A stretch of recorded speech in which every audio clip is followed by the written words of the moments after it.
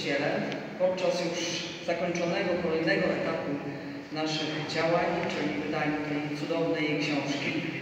W sumie gdyby nie Tomasz Nowak, to pewnie by się to nie zadziało.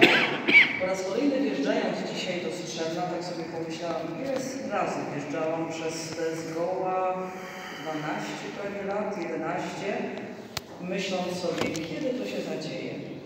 Od 2012 roku wiedziałam o istnieniu muzykaliów, e, które spoczywają w Muzeum Instrumentów Muzycznych, oddział Muzeum Narodowego w Poznaniu. Nie ma ich wielu, ale każdy taki przykład zachowany po kapeli działającej w tym kościele, kiedy spoglądam, wchodząc do tego kościoła, zawsze spoglądam z boku na ten przecudny obraz łódni, której napis głosi, że przecież nieporuszona, a jednak wszystko porusza. I taka jest muzyka.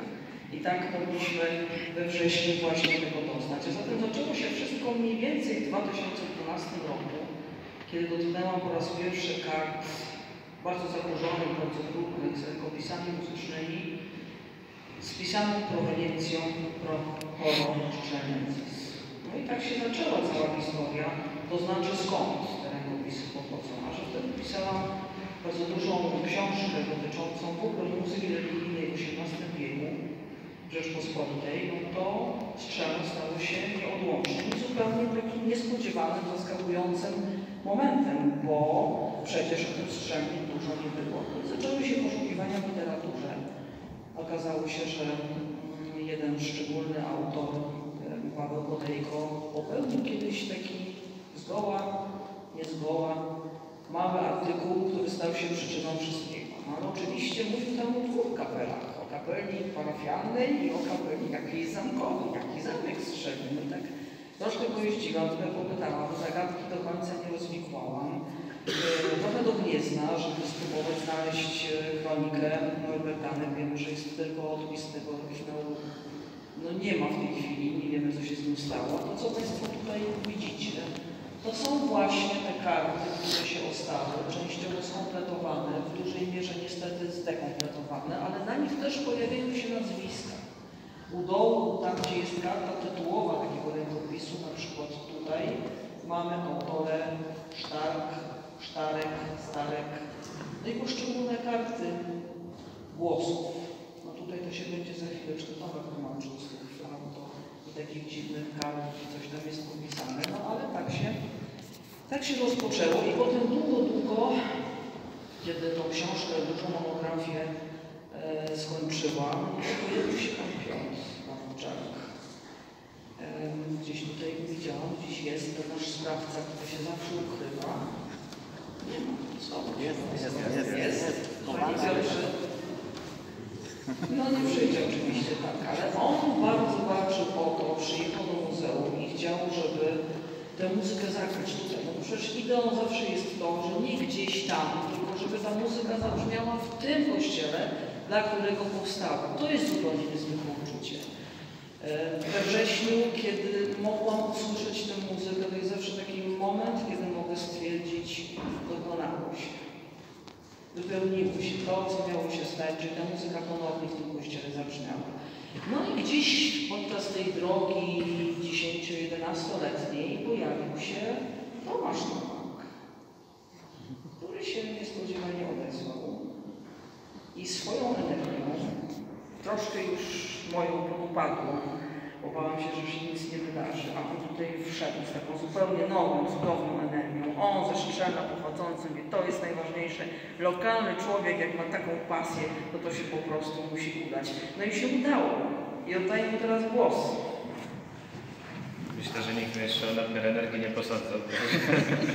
Ci, którzy mnie znają, to wiedzą, że to dobrze, że jest taki głos z zewnątrz, który czasem potrafi ocenić, jak widać.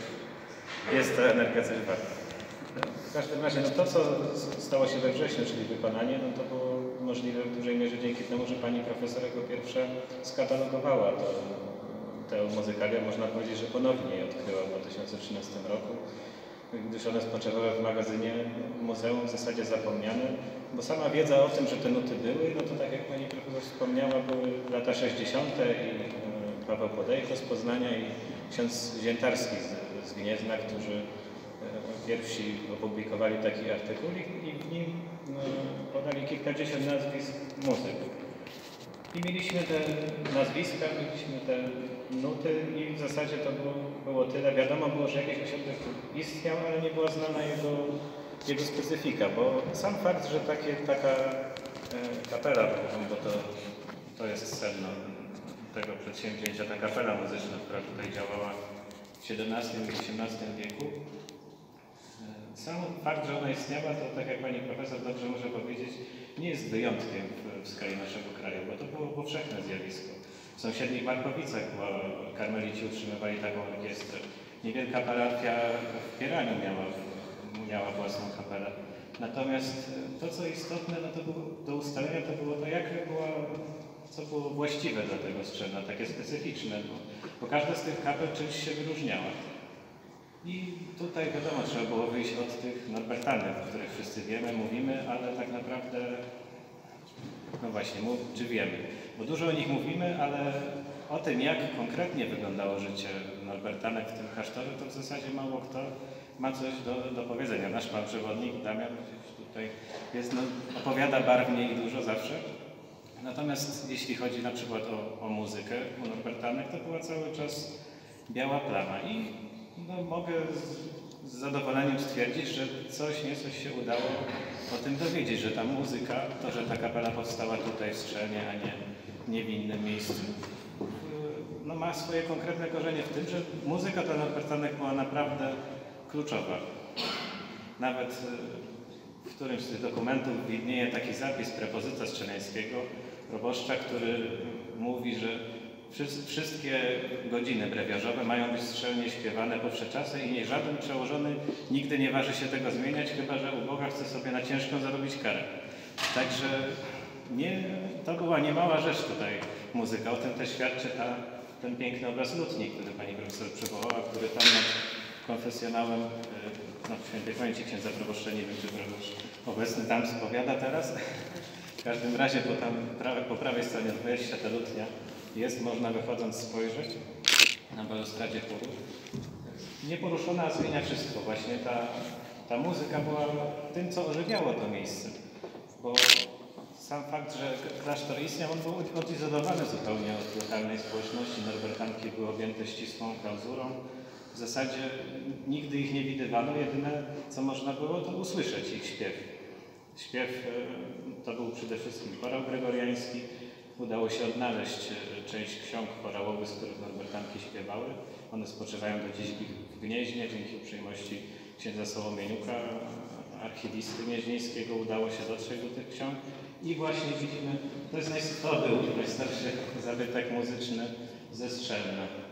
Karta z graduału, to jest taka księga e, wykorzystywana w mszy świętej, żeby śpiewać to, co dziś nazywamy psalmem responsoryjnym. Jak widać, to było dużo bardziej złożone kiedyś niż niż teraz, trudniejsze do wykonania. To jest karta z, z XIII wieku. Nie wiadomo, czy napisana wstrzennie. Być może, być może sprowadzona z Wrocławia, który był, który to klasztor we Wrocławiu tutaj fundował. Jakby. Stamtąd były sprowadzone Norbertanki, stamtąd było, e, tam było zwierzchnictwo, więc no nie wiadomo, ale w Gnieźnie do dziś spoczywa ten, ta karteluszka. Ona tak wygląda na swój wiek i tak dobrze, ale widzimy, że z tej strony zdjęta, bo zachowała się do naszych czasów tylko dlatego, że ktoś ją wykorzystał jako okładkę do książki w późniejszym czasie. Tak, jako klej. E, bo to jest na skórze zwierzęcej wyprawionej bardzo twardy materiał i no, w taki sposób szczęśliwie do naszych czasów dotrwał. Jeszcze jest pole dodane właśnie dla specjalistów, żeby coś więcej o tym o tych e, nutach powiedzieć, o tych zabytkach muzycznych. No i właśnie, siostry Norbertanki e, to jedno, ale e, siostry miały nad sobą przełożonego księdza proboszcza Strzemieckiego, który był zarazem przełożonym tego klasztoru, bo żeńskie klasztory nigdy samodzielne w tamtych czasach nie były. I to właśnie to, co specyficzne dla Strzelna, okazało się, że to właśnie jest związane z, z osobami poszczególnych prepozytów tych przełożonych, bo Strzelno, jak widzimy, doczekało się bardzo okazałego kościoła. Miało wielki majątek ziemski, ale jednego przełożonym zawsze brakowało, bo w sąsiednim Mogilnie, w, w Trzemesznie były opactwa, które wiązały się z przywilejami, noszeniem szat biskupich. No, a w Strzelnie niestety była tylko ta, było uposażenie bogate, był, był klasztor, piękny kościół, ale nie było tytułu opata. W związku z czym prepozyci robili wiele, żeby te braki nadrobić. Z czasem uzyskali tytuł infuata, mogli nosić szaty biskupie, ale właśnie tym, co okazało się, że było elementem tego, e, tego ich programu skierowanego na to, żeby podbudować trochę swoją pozycję, była właśnie muzyka. I ta strzeleńska kapela była bezpośrednio związana właśnie z osobą prepozyta, można powiedzieć kapela prepozycka, no nie do końca parafialna, bardziej kapela osobista, dostojnika kościelnego. I nie zamkowa. I nie zamkowa, to znaczy czy zamkowa, czy nie zamkowa, to jeszcze pewnie przyszli badacze jeszcze może określą dokładniej. Zamkiem, zresztą chyba nikt nie kojarzy, gdzie w Strzelnie zamek był. No i dobrze, bo zamku nie było jako takiego.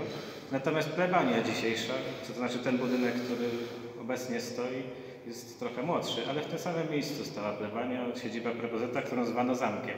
Być może też z tej takiej megalo- megalomanii yy, to wynikało, ale